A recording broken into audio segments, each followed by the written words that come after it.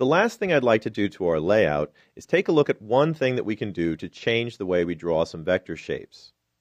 Now, what I wanted to do is put a little bit more interesting background behind all of these other elements. We can add a layer to the back by simply clicking on the lowest layer and, of course, adding a new layer. I'll rename this layer background, so I'll just double click on it and type background.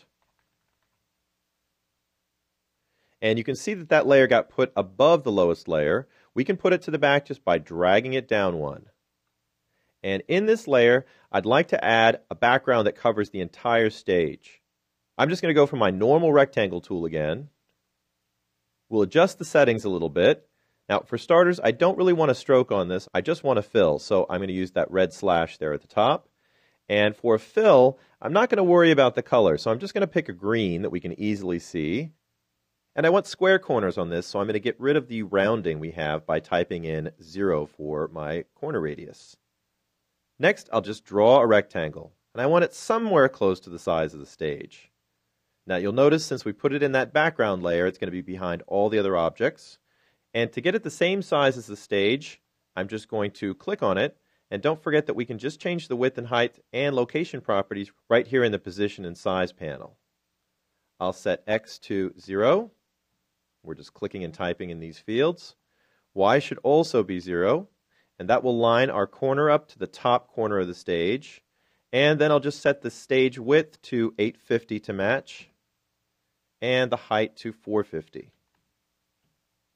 Now, green doesn't look too good here, but what I wanted to try out was another option in our color panel over here on the side.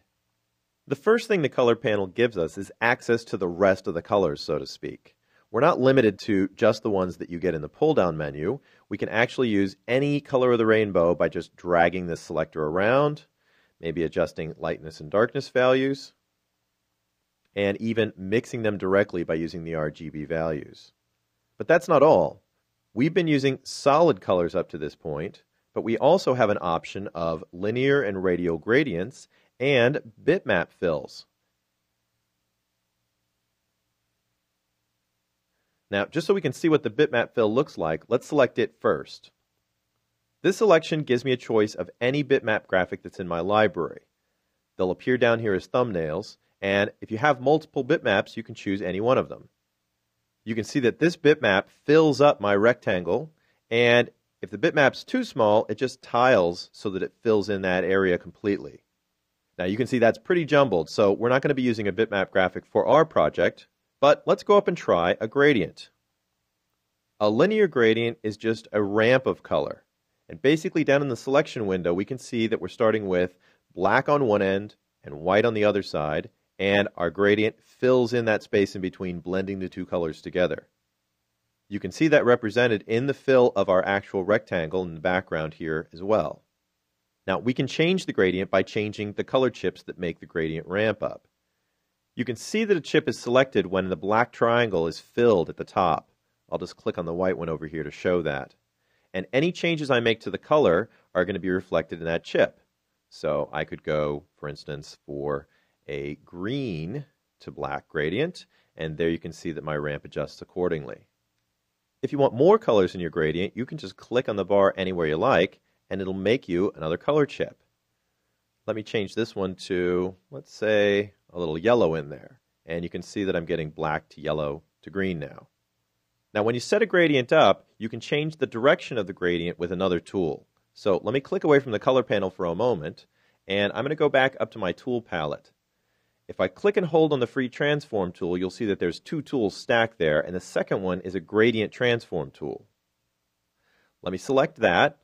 I'll go use that tool to click on my gradient, and you'll see what I get are a set of handles that are specifically designed to manipulate the gradient, not the shape.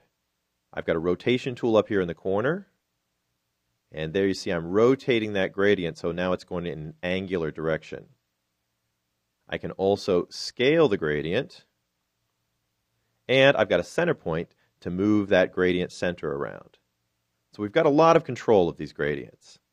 In addition to those controls, back in the color palette, we also have an overflow control that lets me control what happens on the outside of the gradient area. Normally it's just going to end, but I can use this control to mirror or repeat a gradient. I'll just select the repeat setting, and there you can see my gradient just repeats over and over again. Now, what I really wanted to use for our gradient is not a linear gradient, but a radial gradient. So let's change that selection. The radial gradient is going to give you a similar ramp, but it's going to go from the center out instead of in a side-by-side fashion. I don't need the overflow setting to repeat, so I'm going to set that back to its normal extend setting. And what I'd like to do is set this gradient up so it's going from green to black on the outside. I don't need the middle color, and I can get rid of that by simply clicking on it and pulling down. Then I'm going to go to the black color chip, and I'm going to set it to a nice olive green. I'll pick out a green point in the setting, change my lightness and darkness values, and that's looking fairly good. Let me change this one to black.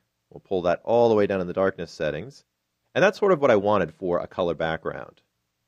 I still have my gradient transform tool selected, so let's go out here and select that gradient with it, and you'll see that for a radial gradient, we get similar controls, but they're a little bit different since we've got a different type of gradient we're working with.